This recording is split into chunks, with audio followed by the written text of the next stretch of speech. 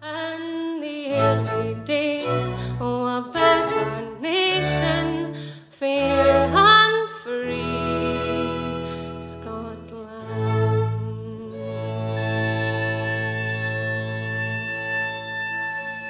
I started the Scottish Independence podcast about three years ago. It was before the referendum. And the basic idea was that what we saw in the media always, if you're a supporter of independence, was that there was one independent supporter, and then every time they were on television, there were three or four unionists there to shout them down, and no one ever got the chance to explain their point, to explain their reasons for supporting independence. And the idea behind the show was just to basically give people the opportunity to come on and say their piece. There was always um, an element of good bloggers and stuff, but I thought it was important to have an audio element. You know, everyone now with their smartphones, everyone's got an MP3 player in their pocket, and this is the way it's going. And I think it's very important to get people into that medium as well. Thankfully, now a couple of others have started up, so it's not just me. But um, yeah, it's good to see that there's a, a variety of podcasts now as well.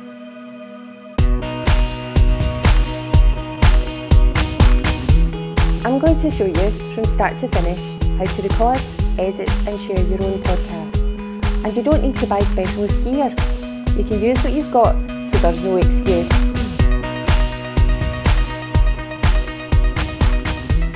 My name's Elaine. You might know me slightly better as Sparkle Monkey, and today I'm going to do a podcast, which is really exciting and slightly terrifying because I've never done one before.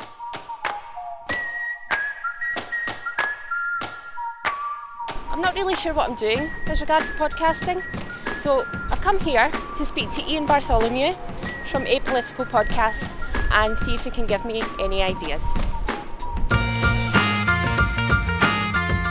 So, Iain, can you tell me a bit more about Apolitical Podcast and what its aims are? It was kind of a post referendum project. It was designed to let people hear arguments other than their own because we kind of felt that people were getting stuck in bubbles and hearing their, their own opinions repeated back to them. And we thought it might be interesting for people of all political persuasions to kind of get a bit of the, the other side of the conversation to speak to people from all parties and all persuasions in the same way to get the same type of interview so we could fairly compare and contrast how people thought and how people presented their ideas.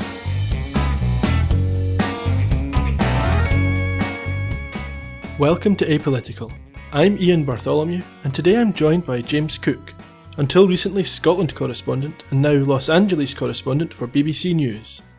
Good evening, James. Thanks for coming in to speak with us before you jet off to California. Uh, good evening. It's very nice of you to have me. Thanks very much. I think in terms of the, the podcast format, it's something that's compatible with different lifestyles as well, because not everybody has time to read a paper or wants to sit on the internet for hours at a time. where They can be out exercising or walking their dog or going to work or sitting on a bus and they can hear a podcast more easily than maybe other news formats.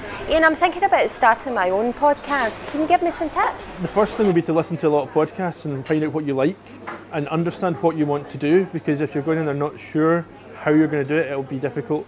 If you've got a clear idea of what you're going to have at the end in terms of structure, think about what type of interview you want to do. Is it a conversation? Is it a question and answer? Is it going to be one where the host is an important part of the podcast or is it going to be one like apolitical, where it's really about what the guest has to say and the host is just kind of guiding them. So I think knowing what you want to do is the best tip that I can give. Well, I've spoken to Iain. I've got a bit of a better idea what I'm doing. But if I want to do a podcast, I'm going to need a victim. I mean, I'm going to need a guest. I haven't got one at the moment. I've got an idea.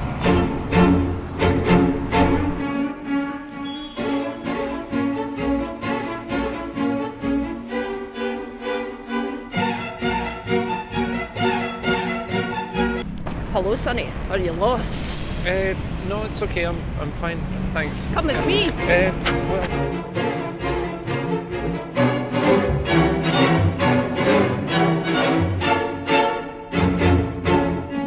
So once you've got your interviewee in place, it's time to start asking questions.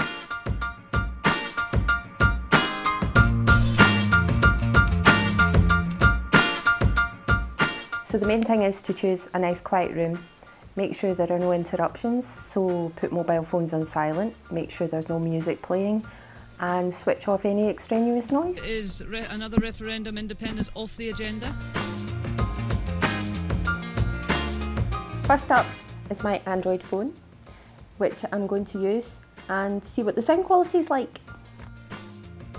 So, the best way to record audio on the Android phone, on the Samsung Android phone, is to go into apps and then go into voice recorder.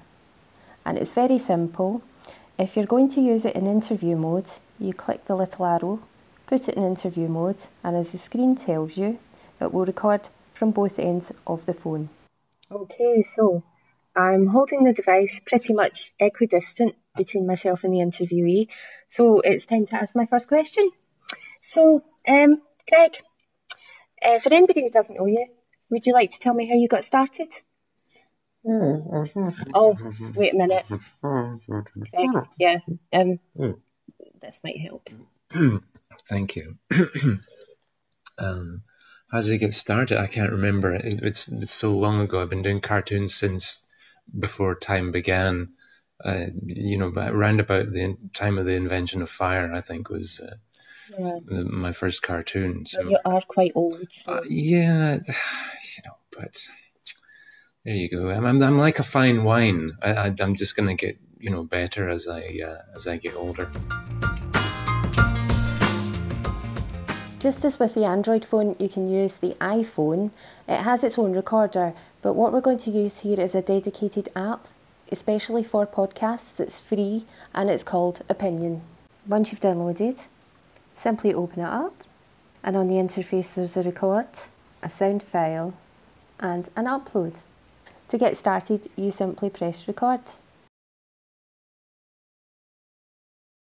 So, depending on which model of iPhone you have, um, the microphone is at the bottom on this model, so you might have to use the phone directionally in order to record audio.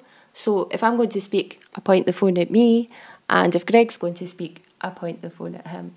Right, Greg, so who's your favourite character to portray? Well, I've got new characters. See, after that last general election, everybody said, How are you ever going to survive now that you've lost all of those marvellous 40 Labour MPs? I, I'm particularly liking George Galloway.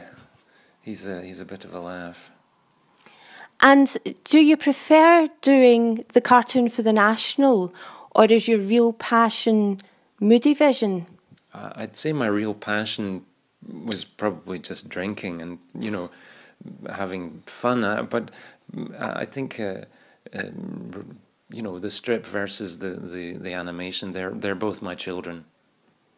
And you don't love one of your children more than the other? No, absolutely not. How could anybody? How could any mother, you know?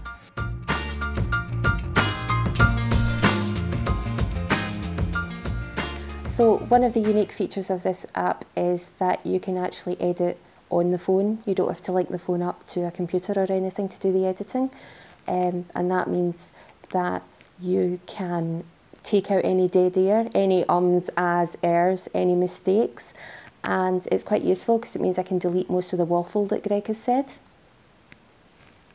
And another feature is that you can also directly upload to SoundCloud or any other website that you want to use to host your podcast.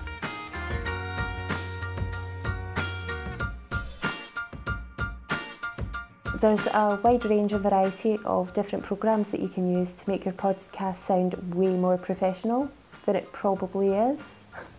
There is some really good free software out there, very easily downloadable, um, such as Audacity or WavePad.